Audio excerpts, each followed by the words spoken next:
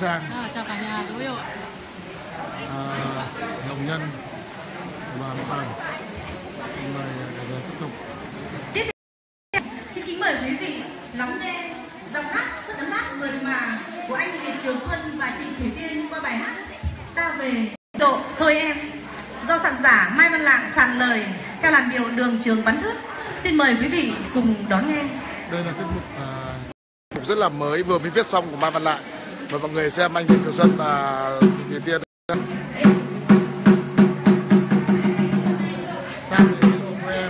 Thanh Hoa có mấy lời nói với à, tất cả à, các à, ông, các bà, các anh, các chị và các cô bác và các bạn trong đêm hôm nay. Mai Văn Lạc đã từ rất lâu muốn lên thăm quê hương Mường Lò nghĩa lộ của chúng ta. Nhưng à, vì điều kiện công tác anh chưa sắp xếp lên được. À, lần này anh à, trước khi lên anh có hỏi tôi Chị ơi, cho em xin một số những à, địa danh, những di tích lịch sử, những nét đẹp văn hóa Mường Lò Nghĩa Lộ. Chỉ chưa đầy một tiếng mà Mai Văn Lạng đã viết tặng cho chúng ta một làn điệu trèo mang đầy âm hưởng của uh, dân tộc Thái. Bài hát Ta về Nghĩa Lộ thôi em theo điệu luyện Lâm Cung. Mời quý vị cùng lắng nghe. trường bắn thước ạ. Vâng. À, người người hát cùng với tôi nói rồi cho tôi xin được nói mấy câu ạ có được không ạ Vỗ tay, vỗ tay ạ. Vỗ tay ạ. à, Trần Trường Xuân tôi thì à, gắn bó với mảnh đất này rất là lâu rồi à, và à, vì điều kiện cho nên là tôi chuyển về vùng xuôi à, sinh sống. À, và được à, về thăm thì nghĩa lộ thì rất là nhiều lần rồi. Nhưng trở về với miền quê dân ca như hôm nay thì thực sự là hôm nay mới từ à, là rất là xúc động được về cùng với các bác à, trong cái buổi giao lưu ngày hôm nay.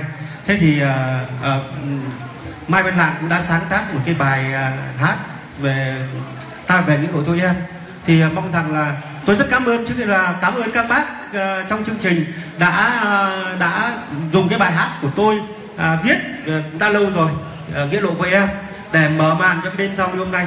Thì cái thời lúc đó thì tiếp cận với các soạn giả rất khó gặp ông Mai Văn Lạng với ông Nguyễn Di Sang như bây giờ thì khó lắm.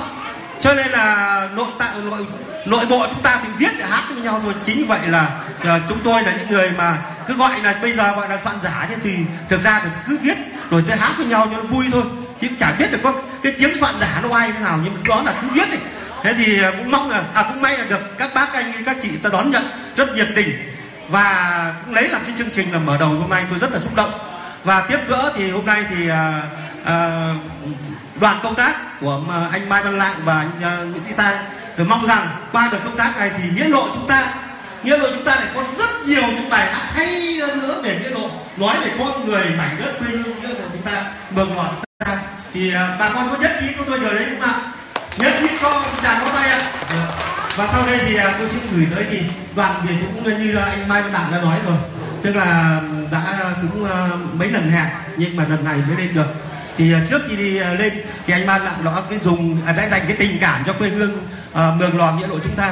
Anh ấy viết bài hát ta về nghĩa lộ thôi em. Hôm nay lên với đoàn cùng với đoàn với anh Lạng thì tôi thì người ờ, đang ốm. Nhưng hôm nay cũng à, mang hết khả năng của mình để à, phục vụ à, truyền tải cái bài hát này đối với đến với các bác các anh các chị trong đêm ngày hôm nay. Mong rằng lúc mà tôi hát ấy, thì nó nó ho thì thì xin bà con cho hai chữ đại đại xá cho.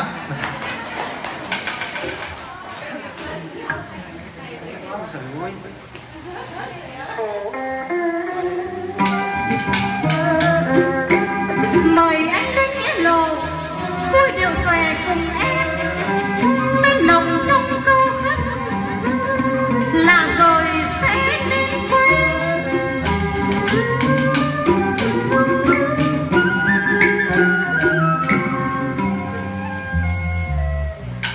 dịu dàng trắng thức trọn đêm.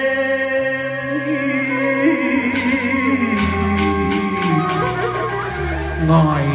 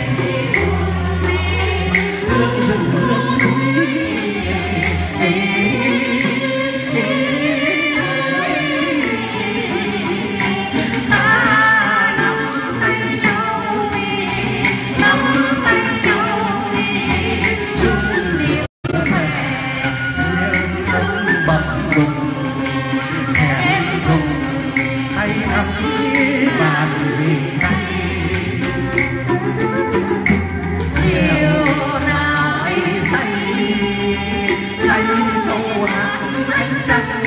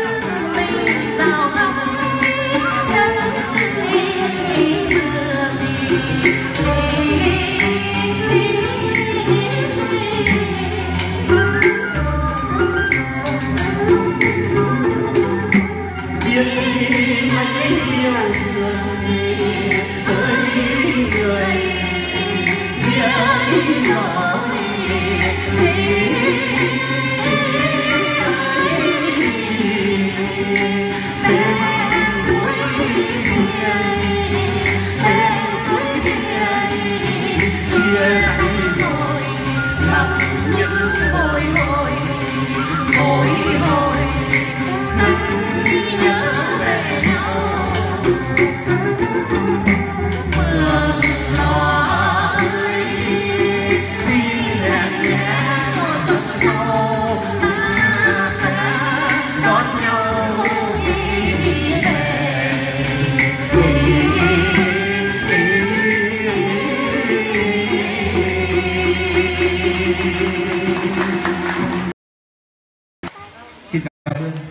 cảm ơn cả nhà đã theo dõi buổi trực tiếp của tôi. À, một chương trình rất là một bài hát rất xong. À, đây là khăn của người à, mường lò tặng tôi vừa mới được quàng xong. Xin trân trọng cảm ơn và xin à, chào cả nhà. Chúc cả nhà vui.